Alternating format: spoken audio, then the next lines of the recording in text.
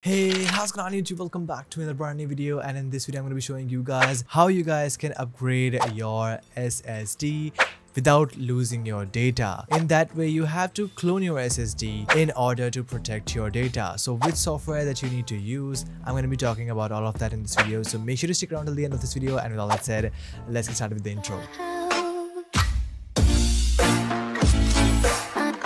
Alright, so let's just say that you have a SSD on which you have your Windows installed and you want to clone that SSD to the new one which will be your primary SSD with your Windows on your computer and you want to get rid of that SSD.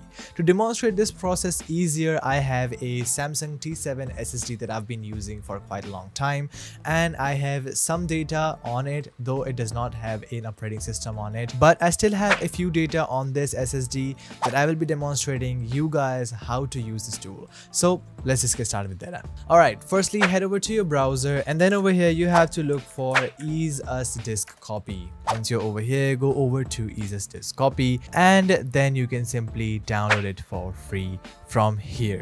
Once you have opened this application, the best part about this application is that it is a independent application that you do not have to install on your PC. It is a portable application that you can carry it around on your pen drive. It is very much handy and uh, as soon as you attach your SSD onto your PC, it detects it. You can simply click on update and now within a while you guys can see a disk file that will be appearing right away. This is my Samsung T7 SSD with 931GB size over here. What you have to do you have four options over here. First is disk mode, second is system mode, third is partition mode, and fourth is create a bootable disk. You also have a batch mode over here, which covers a few settings like copy from an existing image. We're not going to be diving into this one. Let's start with the first one that is a disk mode. Let's just say that I want to copy all of my disk to another disk. And for that, I have to simply click on the source disk. That is my T7 SSD. I have to simply click on next. And now here is my target disk. So I want to copy all of this disk data onto the new SSD.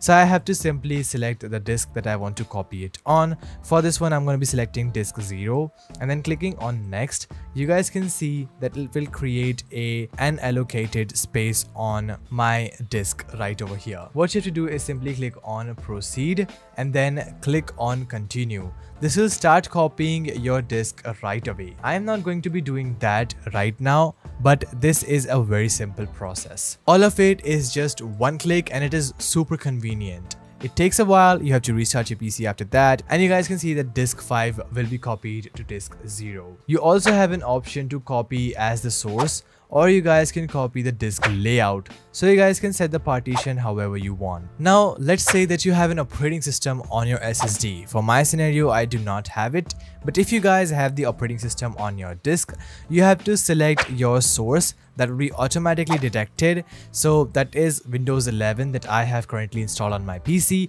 I can simply transfer it to any disk on my PC so I have my uh, Windows 11 on the disk 3 right now but I can transfer it to any of my disk right away. I have to just select the target disk. So let's just say I want to copy my Windows to my disk 5 that is my SSD over here. So I'll simply click on next.